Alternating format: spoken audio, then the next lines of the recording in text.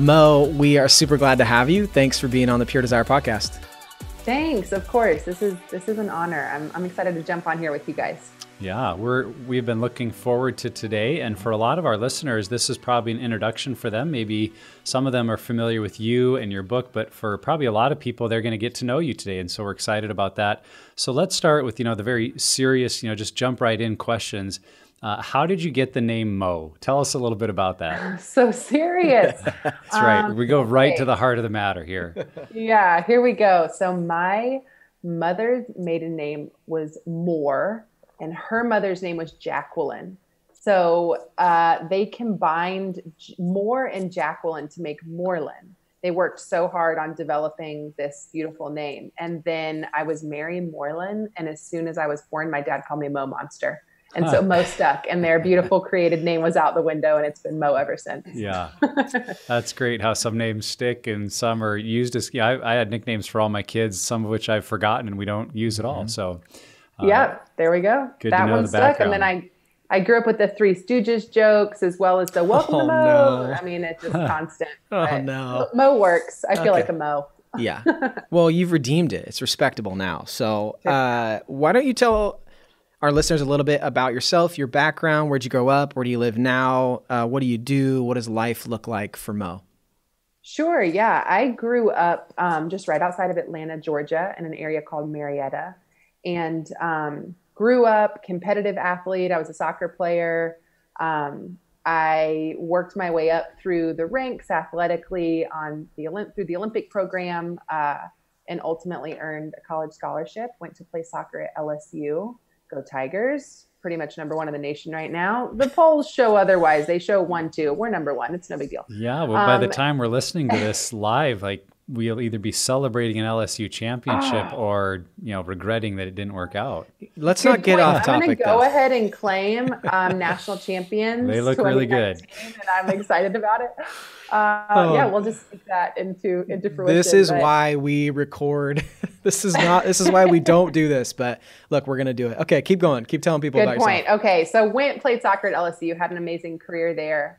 Um, was an All American. Had some some neat goings on as a goalkeeper. Uh, graduated, came home, met my husband. So I moved back to Atlanta and met my husband Jeremiah shortly after.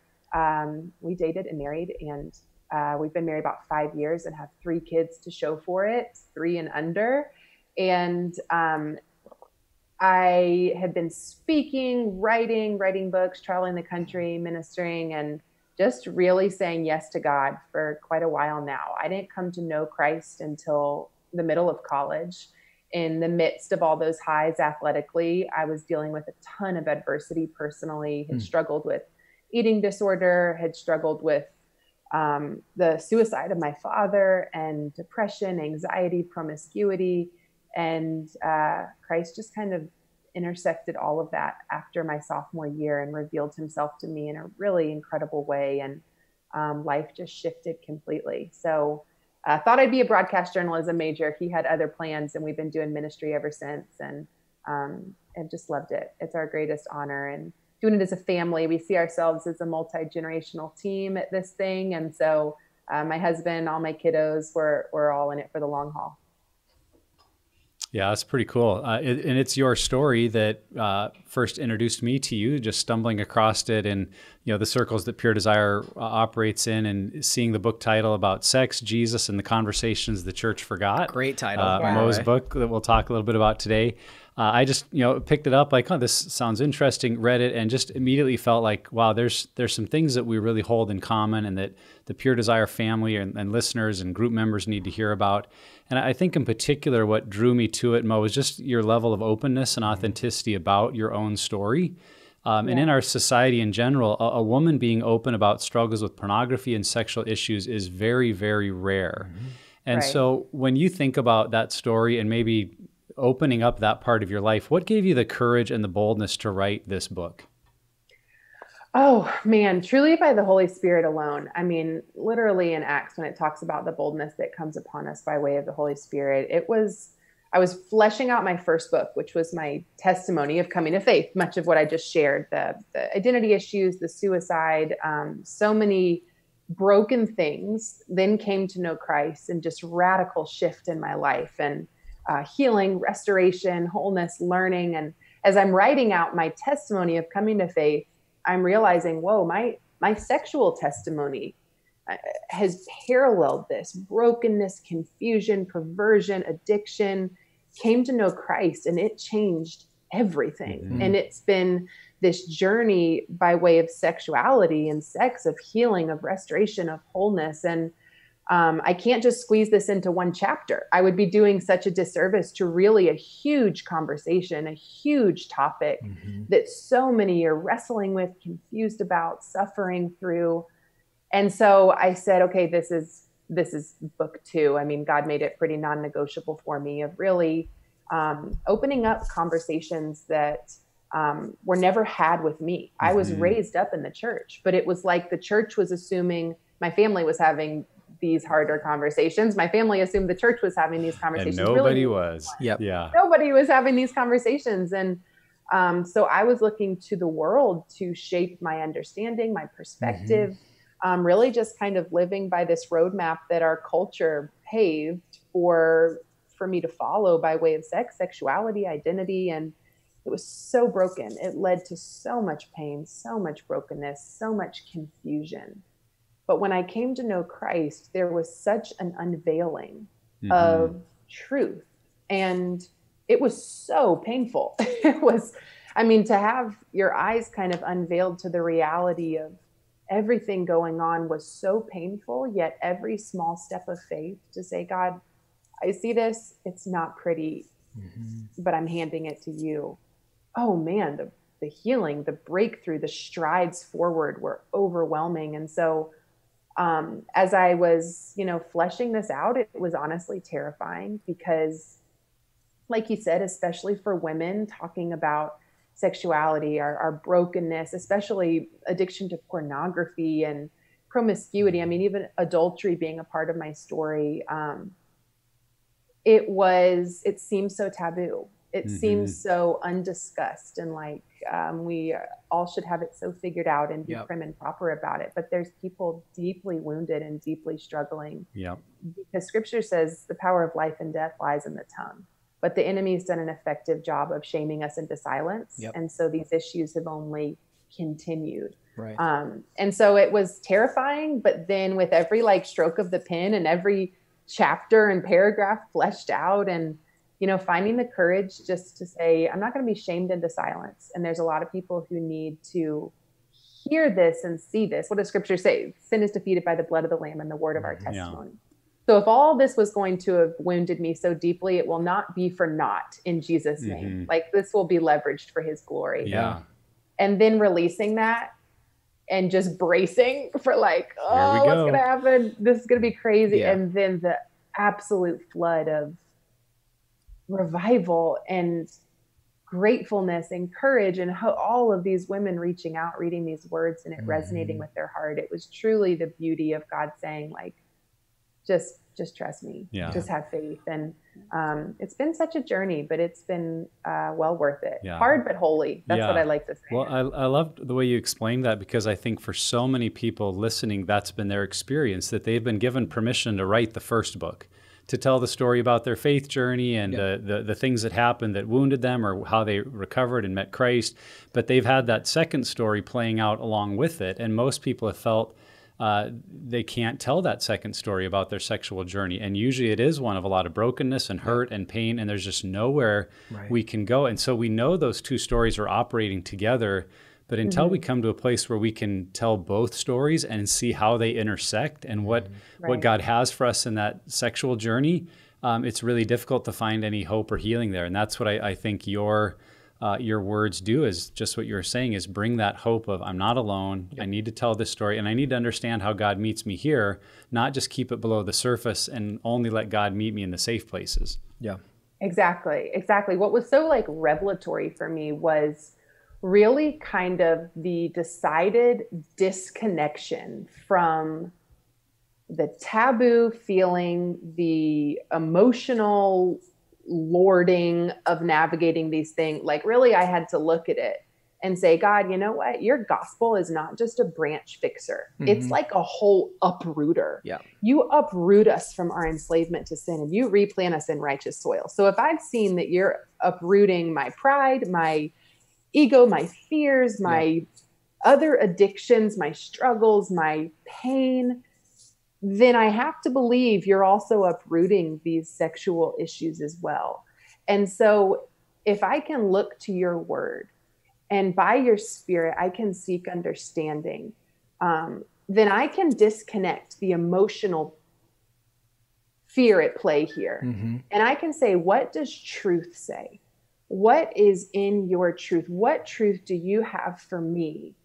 And open my eyes. Give me understanding. Let me divorce my emotions from this. Let me put my pride aside and even my shame aside and just consume the bread of life here and living water. And when we can approach, sorry about that, when we can approach him in this manner to say more of you and less of me, reveal to me whatever it is, mm-hmm. there's there's a beauty of understanding that comes, of revelation that comes. It's like in response to humility, he gives well, what does he say? Like, humble yourself before me and I will lift you up. Draw right. near to me and I will draw near to you. Yep. So it was never like an increased weight of shame or guilt. Mm-hmm. Every step towards him in humility was a boost of here it is clearly for you. And here is understanding and here is healing and here is hope. Yep. And um, it's just beautiful to be able to to just approach his his word and his throne in that manner and he brings all things into understanding and um, you realize the enemy doesn't have such a, a, bridle on you anymore by way of your shame or your totally. emotions and your mm, guilt. Amen. Totally. So, Mo, you've talked about a couple things that I think getting into this next question, I think it's really difficult for anybody, it's specifically men, let's just start with them. It's really difficult for a man to own up to sexual struggles uh, for a number of reasons in the church. But I think it's even more so for a woman. And that's why we're so excited to have you on the podcast, why we love that you've written this book, that you're really making your story known and inviting other women into their own healing. And you've talked about mm-hmm. the taboo nature and the shame um, maybe it's those two. And, and what else would you see are some reasons why women feel so afraid to talk about sexual brokenness in their life and why they're afraid to invite other people in and really step out into the light? Yeah, there's um, a number of different reasons, a lot of different layers. I think for so long we've heard people stand at the pulpit and shake their frustrated fists at the world about the failing morality um, of mankind and all of these symptomatic responses. We've thrown such stones at these symptomatic responses of brokenness. So the promiscuity, the revealing clothes, like the the pregnancy out of wedlock, the mm-hmm. the evidence of sexual struggle, sexual immorality in the heart. But we've we've almost tried to put band-aids on bullet holes by pointing out these broken things. And we've missed the deeper conversation the deeper understanding that all of these things deeply root in a condition of the heart mm-hmm. in wounds in confusion in pain. The symptomatic response of what we do with our bodies is is the overflow of what's mm-hmm. happening in our heart. Yeah, and so good. I think because for so long we've acted so much holier than thou, even yep. as the church. We've totally. acted like these things are just so detestable. And how could you? And, you know, we, we call out every bit of sexual sin, yet we, um, we fail to see that, that our, our hearts are equally and deeply impure. Mm-hmm. Um, and so I think what's happened is that we've, we've missed that God's not just in the business solely of behavior modification, and mm-hmm. that if mm-hmm. you don't measure up, you're worthless. And if you do, well, then you're good enough. We've missed that He's in the, the deep and transformative business of heart transformation. Mm-hmm. And we all need that. All of us sinners falling yep. short of the glory of God even um, the ones who look the best on the surface or the ones who haven't made as many um, you know haven't committed as many sins that have had physical manifestation for the world to see mm-hmm. uh, equally can have deeply impure heart posture and um, I don't know. It seems as women like we're supposed to have it all together and be just so prim and proper and all figured out. But the reality is that we're all broken. We're we're all yep. so fallen short of His goodness and His glory, and we're all in need of that resuscitating grace that brings us back to life. But we've yeah. um, we've missed it for a while, and we've thrown stones in the wrong places, and totally we've wounded people's ability to be vulnerable because they're afraid they're going to be judged. Well, and we talk about that a lot. The idea that the language that we use um, is so important from the stage specifically, because in a lot of ways, whether it's right or wrong, a lot of people view what happens at the stage on weekends at churches is what holds the highest moral authority or biblical authority. And in some ways that's not actually true, but in reality it should be something that we take seriously. And and mm-hmm. I think mm-hmm. that too, if you think about it, if the statistics are true in the church right now, and we, you know, Barna and Josh McDowell, people have been doing research now for a few years on this. If the statistics are that two thirds of the men in the church and at least a third, uh, if not getting closer to half of the women in the church, have some sort of sexual unwanted behavior, then the language that we use is what is shaming people left and right. If we don't identify that this reality is going on in our church and then speak or craft the way that we speak around that to better reach people, we're just going to keep pushing people deeper and darker into shame. And then shame is vicious. Once it gets a hold right. of you, it doesn't want to yeah. let go. And it's going to push you further and further into numbing out in the form, especially of this form, because it's such an easy sin to hide and to keep yeah. to ourselves. And so, I think that even what you're saying is really important for churches to hear and leaders to hear that we have to start using inclusive language language and we have to start having this conversation with both genders because if not we're just pushing people down darker and deeper corners of the soul that's just going to it's going to ruin their lives yeah absolutely and and you know the call to holiness and the standard of holiness never has wavered his instruction his his truth his way has never changed but the reality is that so every single one of us have fallen short of that. And, you know, when we neglect to even include the women in this conversation, to even acknowledge them as sexual beings made in the image of God, yeah.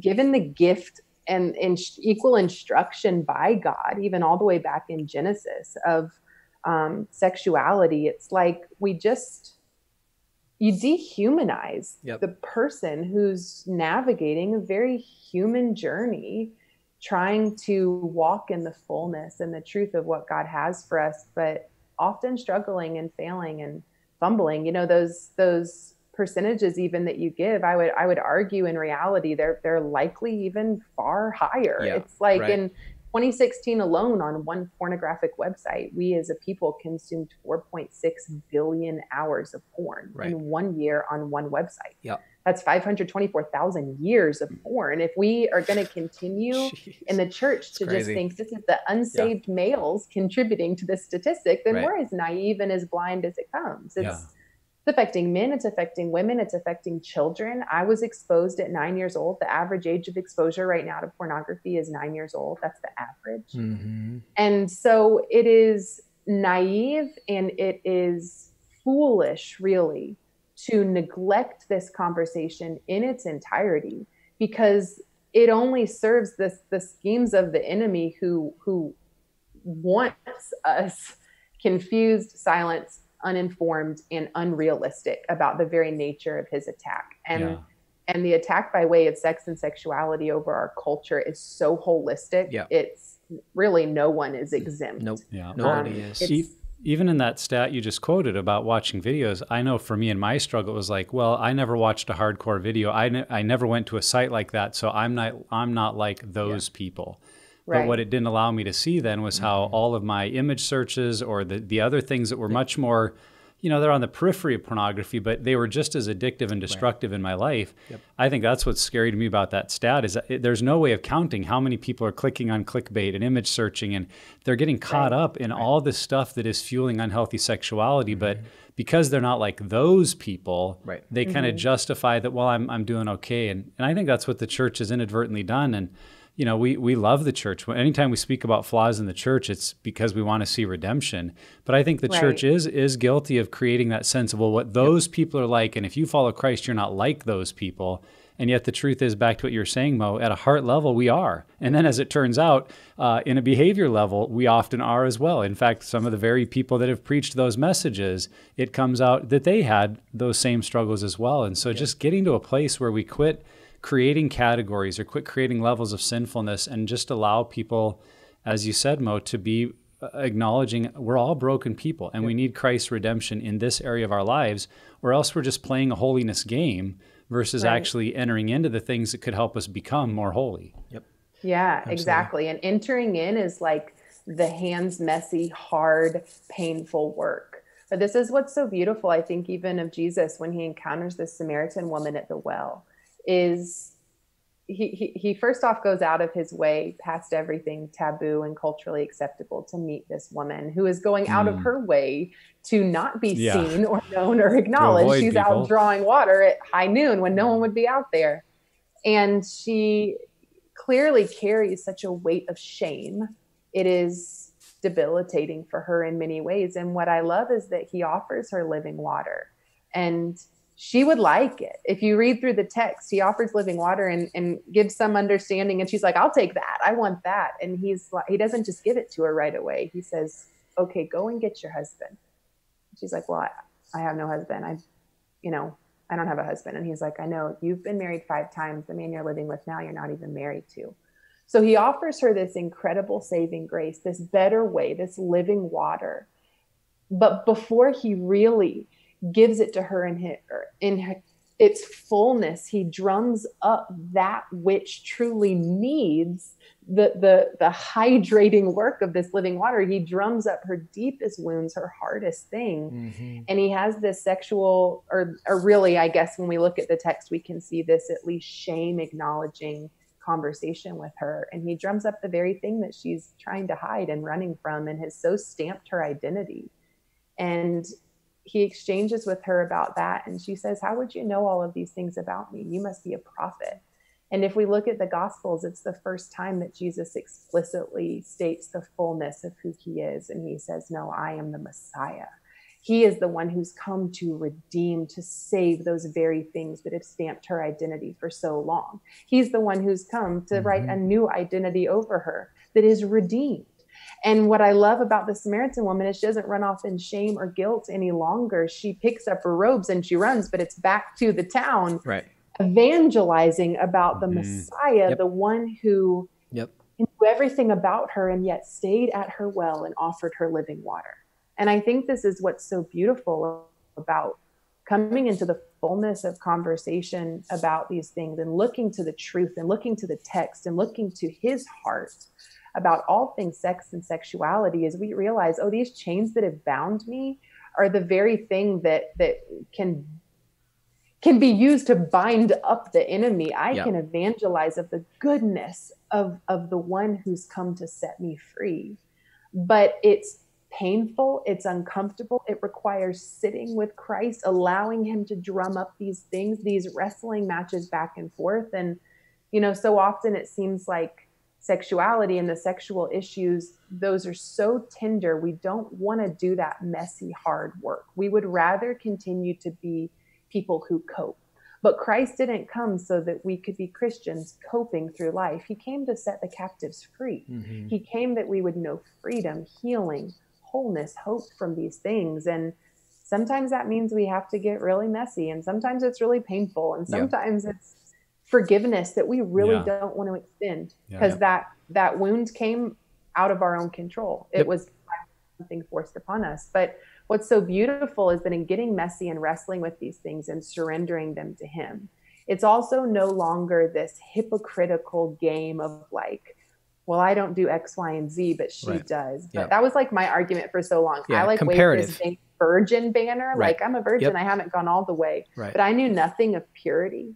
So it was really this works based answer to God when yeah, we've ranked our sins. Was a life surrender question. Yeah. Like I want all of your heart, all of your mind, mm-hmm. all of your soul. And I'm like, well, how about I give you some semi good behavior? Yet I'm living in this gray area of Yep. like everything but Right. X, Y, or Z. Sort of like what you're saying. I'm not looking at hardcore porn, but I know what my image searches are, you know. And it says in the scriptures, it's not what goes into our body that defiles us, it's what comes from our heart. Yep. Our heart is the wellspring of life. And Yep. It would be good to guard it because really pure actions flow from a pure heart, impure actions flow from an impure heart. So the reality of sitting down and saying, This is messy, this is painful, but I can acknowledge in my life I'm such a hypocrite and Yeah. and and all of these things truly are impure in nature and God wants to restore the purity of my heart. Man, it's so hard, but again, it's so holy. Yep. And freedom that comes is overwhelming. Yeah, and I think too, it just encourages people to know that Jesus wants to heal those places. Okay, uh, Mo, part of your story that I think a lot of people can relate to is uh, that you talk about how you grew up in a good Christian home, and yet at a very young age, you stumbled upon pornography uh, that was your dad's. And so, in your own good Christian home, it became a part of your world. Tell us a little bit more about that and about the power then that pornography had in your life at a young age. Yeah, it was um, goodness. Such a huge part of my story that no one would have known about, um, but was so defining in so many ways. I, I, I was about nine years old when I opened the truck door of my dad's truck, and this like playing card, like a poker card, fell out of um, the back behind the seats where he would wedge, you know, trash and junk and whatnot. And I remember bending over and picking up this playing card, and I was just going to stuff it back in there to hop in the truck. And I turned it over, and it was a novelty poker card, and it was hardcore porn on it. And even as a child, I looked at this and instantly knew I didn't even know what I was seeing, but I knew what I was seeing was not right. And this wasn't my mommy, and this wasn't my daddy. And why was this in my dad's stuff? And it was like, I, I, I really think people listening and, and maybe you guys as well know that first exposure to something so perverse, so outside of God's design, so broken, it it almost sears something on you. It- Absolutely. it is Yeah. so searing. And I remember feeling like I was going to puke. Like I I was 9. I didn't even know what I was seeing, but I knew it wasn't right Mhm. and I, I shoved it back in and i remember jumping up in my dad's truck and like acting like i hadn't seen anything and i was so ashamed so confused so overwhelmed but it was so interesting how quickly that shame and that confusion turned into like interest and like Intrigue. You're Yeah. intrigued. what it's like, oh, this is interesting. Right. yeah Yeah. why'd that make me kind of feel that way and Right. what was that and i just started seeking it out Yep. porn is almost like a siren from the cliffs it's like it calls out to you it is just so so perverse but such a look into something you know you shouldn't see but Yeah. does not the human eye want to see what it shouldn't you know Mm-hmm. it's like such an invasive yet intriguing look into something that God made to be the most intimate thing. Um, and so I started seeking it out constantly. Mhm. And it really found such a grip on me. And this was kind of at the time where it was hard to find. Now you hit the wrong hashtag on Twitter and you've got it in front of you. Oh. I, I deeply grieve for the generation of children Right. growing Yeah. up right now where they don't even want to see it. And it's it right in front of them. Totally. Um, this was when you had to like squint on the static channels or like go seek out like Totally. would dad have more back there? I mean, I was Right. always like shuffling through the back of this truck trying to see did he Yeah. have anything else, and it just started then, and it it had such a grip on me, and in so many ways, it's what I look to as an understanding of feminine beauty and Right. power. And this must be what it means to be like a Mm. beautiful, powerful Yeah. woman. This must be what men want. So, really, and I think a lot of Christian women do this, I justified even oh, this is how I'll learn. Like I'm not out doing this. Again, there was that vain virgin banner I was waving Yeah. of like, I'm so holy, I'm not doing these things. Right. Yet I'm like, this is how I'll learn because one day I'll need to know for my husband. Mhm. Yet it's like it's like a hit of a drug. The more I sought and found, the more numb I kind of came to it Yeah. and needed to seek out worse, more perverse, m- more um, quantity. Yep. And yet I could do all of these things behind closed doors on a computer screen, then eventually on a phone. No Mhm. one knew, no one needed to know. Yep. Um, until, you know, ultimately, because what happens is what goes into our mind affects, or our eyes affects our mind, affects our heart, affects our actions. And so I started pushing the envelope physically with people acting out many of these things. And I loved that they had no clue how I could know all of this stuff. And it was like such a power rush. It's right. so wicked. It's just this power rush. And even into college, I continued to struggle with this. And um, it had such a grip on me that I think we'd love to justify, like, no, I have control over this. It's just like kind of when I want. And yeah, this, we all tell ourselves but we, some we version really of that. don't. Yeah. we yeah. really don't. And, Yep. and we really don't. We're actually quite enslaved to this. Yeah. And I just can't emphasize enough how much this is affecting women the same way it is affecting men. Absolutely. It's not an isolated issue. And, but goodness, especially then, whoa, I was like, Yeah. no one was going to say anything about that. And I remember after I came to know Christ, um, my prayer really had become really separate from anything sexual. This was just like the amazing grace. I am a sinner, like in need of a savior. You have like met me in my brokenness and revealed yourself to me. The, the cry of my heart, my constant prayer was, God, break my heart for what breaks yours and bind my heart to thee. Give me eyes to see the world as you do. Give me ears to hear the cry of the hurting. Make me more like Jesus. Make me more like you. So this was kind of just my new believer rhythmic prayer and I remember about a month or so after this radical grace, you know, salvation transformation moment, I had had no urge to look at porn, to, you know, go to any of those familiar sites or whatnot. But a month or so later, it was just one of those days and Yep. thoughts cropped up and, you know, suddenly I'm tempted. And I remember just not thinking much of it and popping my computer open, kind of like muscle memory, just habit. And I navigated to a familiar site and literally the instant that I saw a pornographic image, I I could have vomited. I was overwhelmed. I slammed the computer shut and my heart is pounding like 90 miles an hour and I'm like, "What is this?" Like this is I don't know what's going on. I couldn't even get my thoughts together fast enough, but there was a deep grief. And I remembered, "Oh, wow. My prayer, God, has been break my heart for what breaks yours. Give me eyes to see the world as you see it. And suddenly I can't look at these things the same. This is an image bearing creation of God. This is not body parts made for my pleasure. Mhm. This is not some disconnected production value for my kicks when I feel like it. This is an image bearing creation of God being abused, being hurt, feeling the need to act out, whatever the circumstance may be. This is not for me to consume. It was like very overwhelming.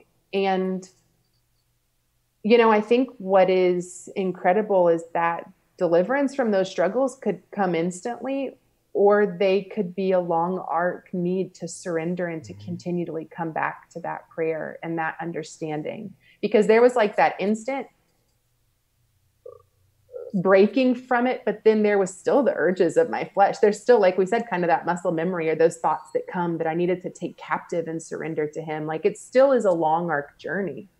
And so it was very interesting to start to navigate with this you know fresh revelation but then navigating just my flesh in light of that Yep. and continually coming back to christ and continually praying god please continue this work in my mind and in my heart and over my body. And really just continuing to die to my flesh so that my spirit could rise in him and deny my flesh when necessary and Yep. teach you know and um, that self-control it's such a beautiful fruit of the holy spirit Yep. and um, it, it takes work but it's so worth it and uh, was found a lot of freedom from really complete freedom from that that struggle ultimately So let's talk about because I think we've we've had some episodes and we've had um, you know I f- it feels like multiple times a year we have a celebrity or a public figure or someone um, and the the language usually is fall into sexual sin when we know the truth that you don't just fall into sexual sin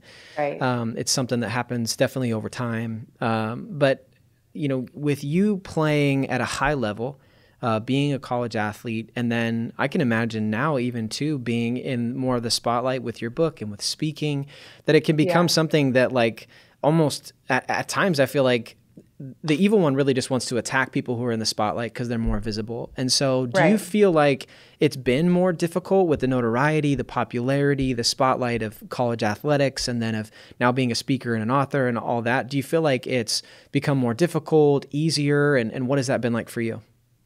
That's such a great question. Actually, no one's really ever asked that, and it's so important. First, Um, got it. First, way I to go, it. Trev. I wrote the Yeah, question. that was You good. did. Oh yeah, Nick wrote the correct. Okay. Oh. Nick gets the credit. Okay. It's a team. We're all a Oh, team yeah. here. There you go. But I wrote the question.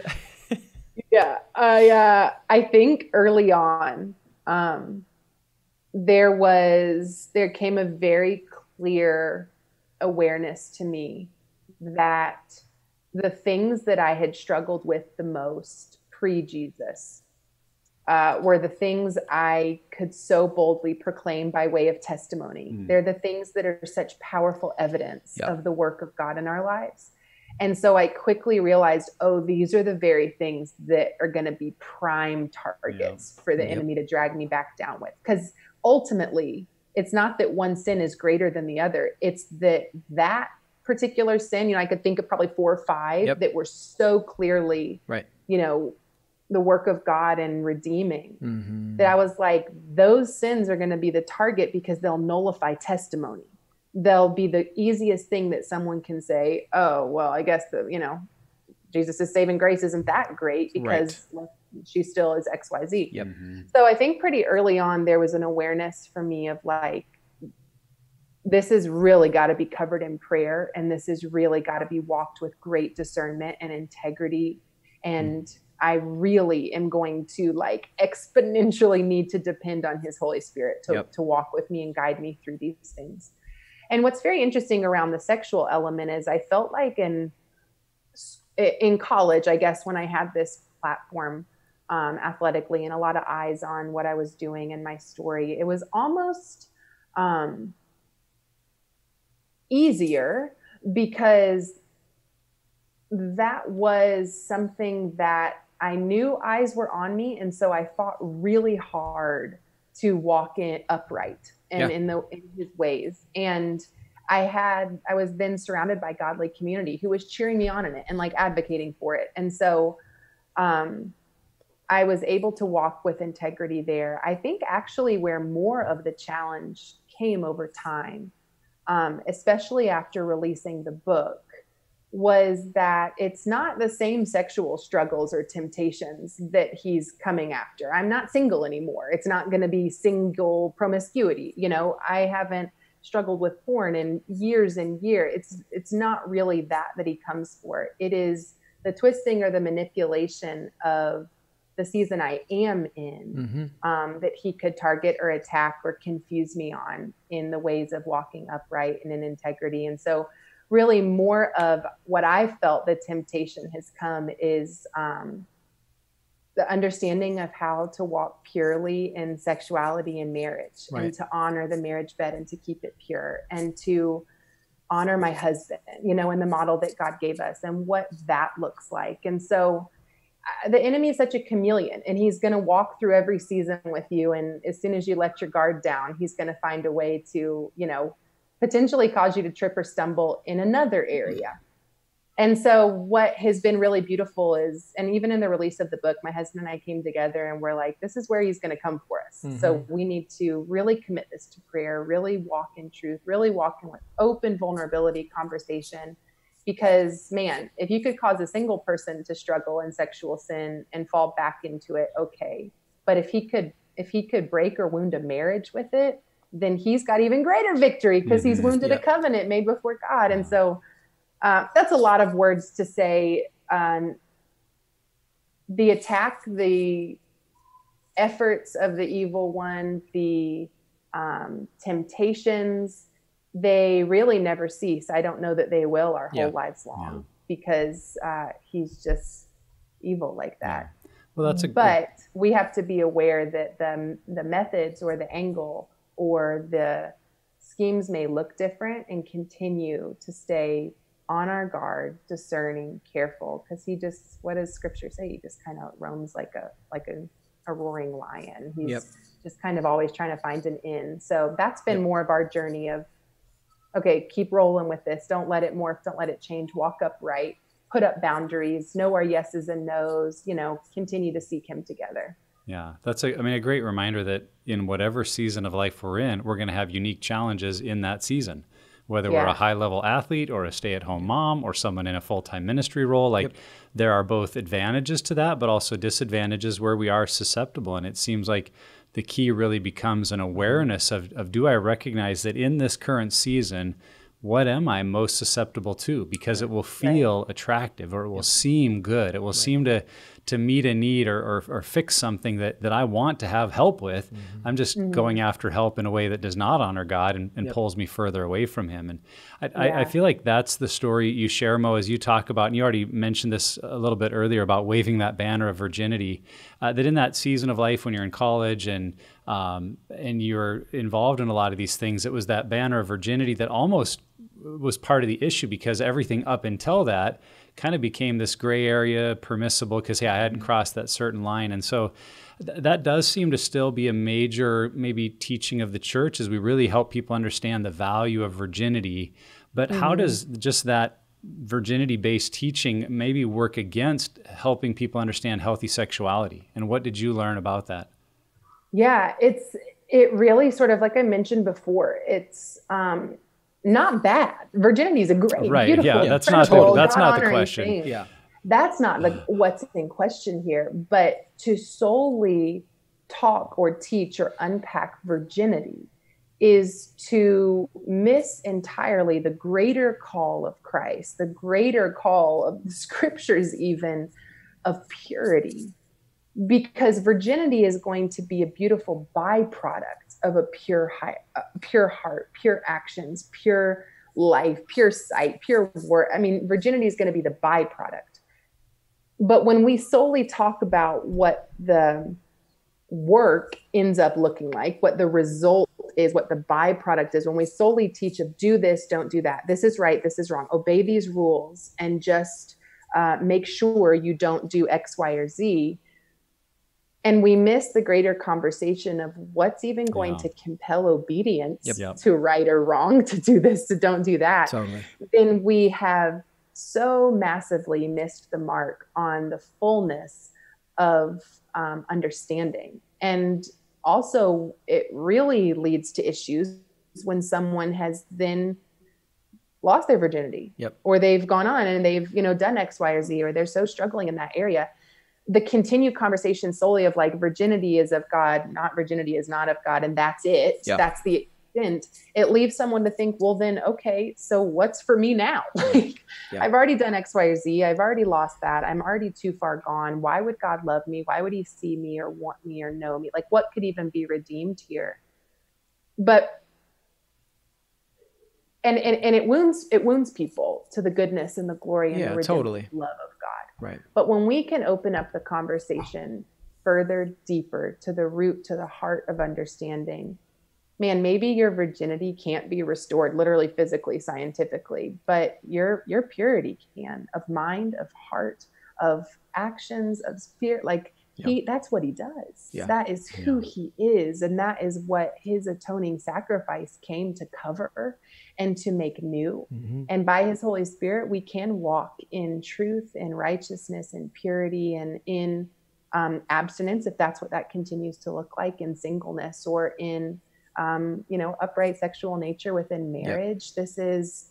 Uh, this is his good and holy redemptive work that is available for all all who would seek him and humble themselves before them and repent of their sins before him and so it's again like we said it's um, virginity is this workspace answer to yeah. a life surrender question of purity yep. and i think we've just done a big disservice in the church when we solely hype that up and we all wear our rings and we make our vows and we um, yes. we miss what's ever going to compel right. someone yeah. Uh, yeah. to abide by what God says. I, I, I, got this thought one time on a flight. I I can't remember if I can get the words out exactly, but I, I basically thought, give this generation a rule list and watch them break the rules.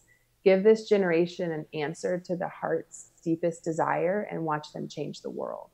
It's like we're this is a generation, especially I'm a millennial, and so my heart's often on millennials, but they're they're so hungry to know Mm-hmm.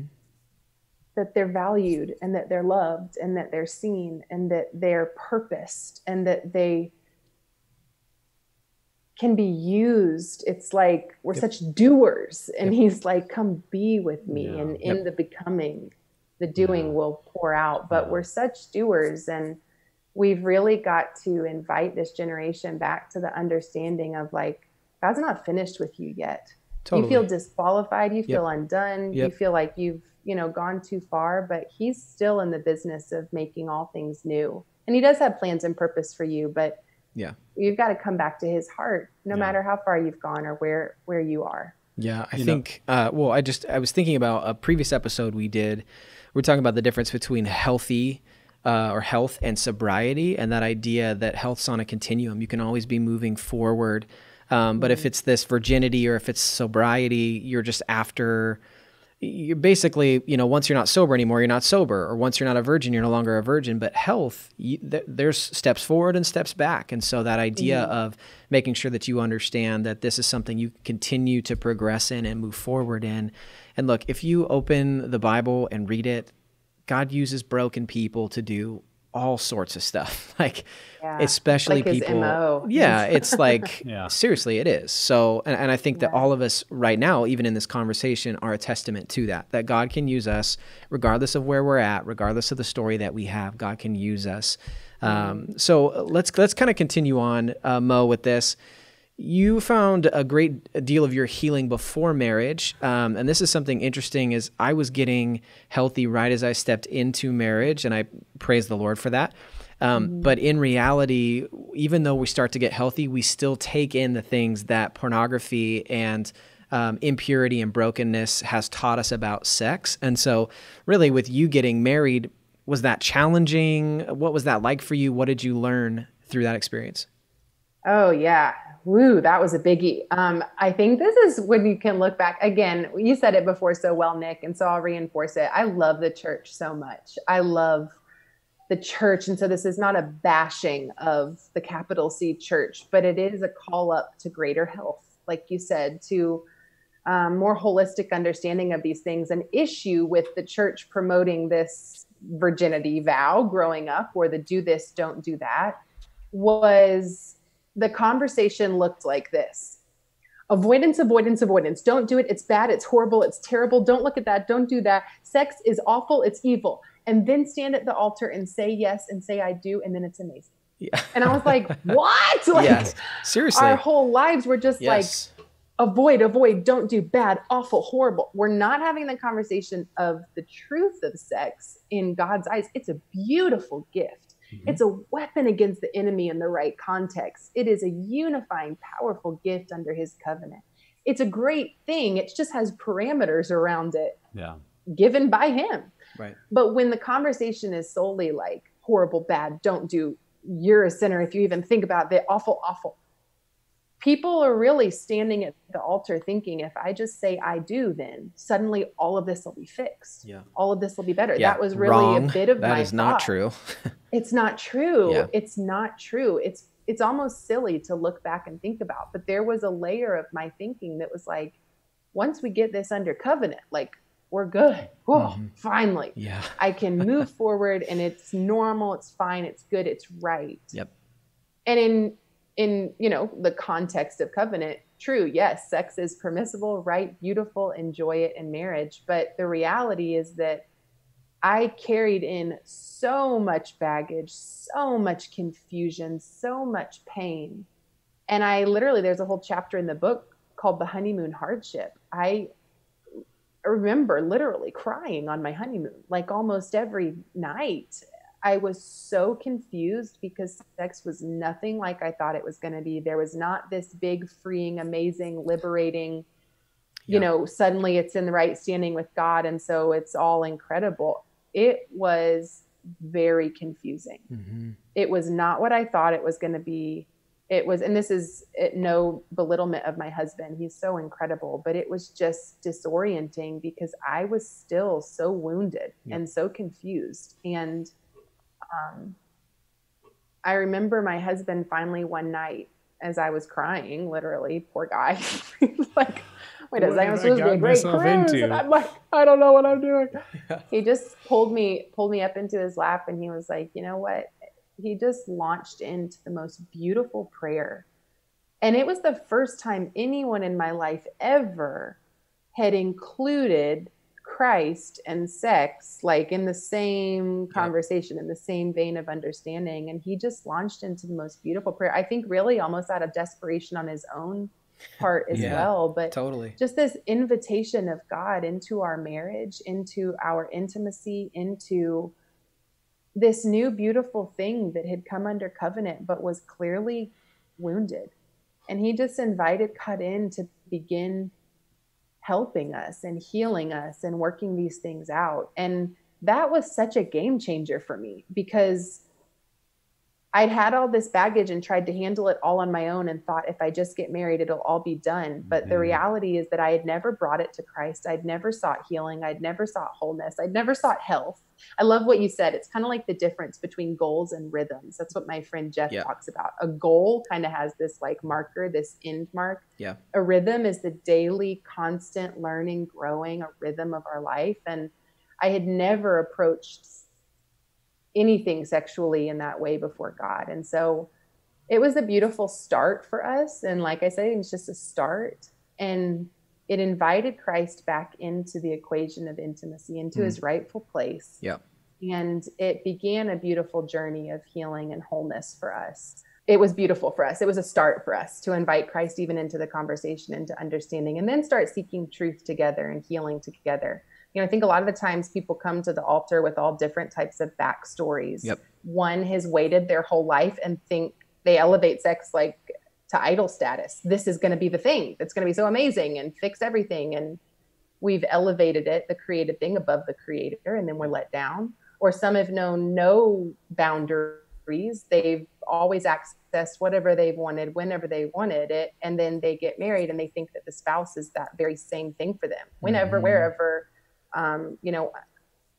And that's not the reality of two yeah. people navigating something together. And you know, it's just, or there's the person who's known brokenness and then repented and then struggled again and then repented. And it's that up and down roller coaster ride in singleness. And so then they come into marriage and it's just disorienting. It's the up mm-hmm. and down roller coaster ride of like, this feels so wrong, but I guess it's right. But should I repent? But it's like very confusing. So I would say all of that to say, um, I think in singleness, especially right this moment, his mercies are new every morning. It's the perfect time to begin navigating healing and wholeness around these things because it's layered when you get into marriage as well. Yeah. Um, but whether single, whether married, today is the right time to yeah. start seeking yep. Him on these things. Yeah. Um, well, and and yeah, it's it's beautiful. Yeah, that's such a great summary. I think of really what we're saying today, or, and what your book says so well is that we've got to be able to attach our faith journey to our journey in sexuality, that, that, Christ is a part of that. And for so many people, just like for you on your honeymoon, that is a, foreign language of how, what does Christ have to do with my sexuality? And I think yeah. you do that beautifully throughout the book. You've done that so well today. And so, just as we wrap up this podcast, what would you want to say to listeners? Is there a, a concluding thought or just a word of encouragement to someone who's maybe where you were, uh, struggling with brokenness and shame and not sure what to do with it? How, how would you encourage our listeners today? Oh, that's um, it's just it's awesome. It's it's such a beautiful invitation. What I was even just saying um, when I was in that season, I would have loved to hear someone say, you know what, His mercies are new every morning. Right now is the right time to begin seeking understanding mm-hmm. and surrendering these broken pieces and allowing these wounds though painful to be tended to and to heal. I i wouldn't waste another minute. If that's you i wouldn't waste another day. I wouldn't i'd break up with that boyfriend yeah who's right. dragging you into this. Yeah. i would sever that relationship in singleness or in dating. I would immediately find accountability for the struggles with pornography. I would do whatever it took to know that his mercies are new mm. today but he also says, number your days, know that they're valuable. And so don't waste time. Yep. And I just think so often of the woman who was caught red handed. um, in adultery because so many of us that's us we've like been caught red-handed or or it's all come to the surface and it's why we're even seeking any of this even listening to this podcast yep. we know it's there right and she's caught red-handed and everyone has a stone to throw and that kind of rewinds back to what we were saying of why it's so shameful for women. Everyone's got a stone to throw because oftentimes our symptomatic responses are more visible and more shameful.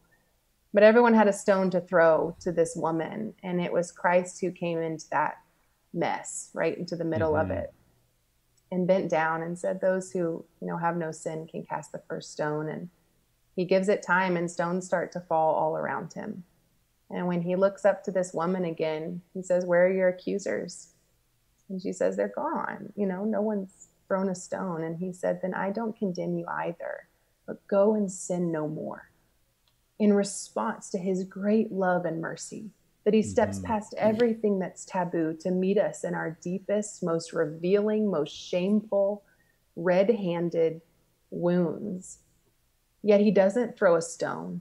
And he reminds us that no one else's words or thoughts or judgments or condemnation have the power to cast mm-hmm. a stone at us either by his grace. That stones fall and that he looks us in the eyes and he says, I don't condemn you right now, today. My mercies are new and fresh.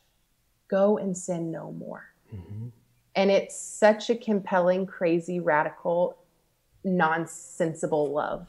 I don't get it for a moment because mm. I was the worst. I was like, yet embracing that today, right now, yep. and saying, then whatever it takes, yep. whatever it costs me, whatever amount of time, whatever energy, whatever group, whatever video, whatever God, you would have of me.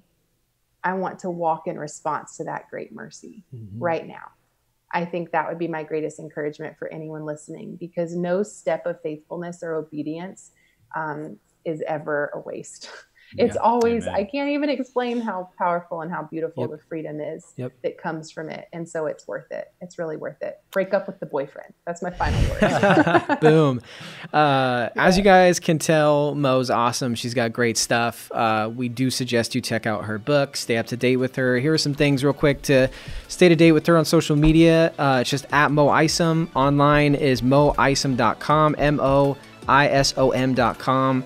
Uh, we also have Mo. You've got a video course. We're going to have that video course up on our website, puredesire.org/slash mo-video. And you can also buy her book, Sex, Jesus, and the Conversation That the Church Forgot, on our website as well, puredesire.org/slash Mo. Uh, Mo, thanks so much for your time. I know you got little kids running around and doing all that stuff, and you're you're busy. You're doing amazing stuff. Thanks for spending some time with us. Hey, thank you guys. I appreciate it.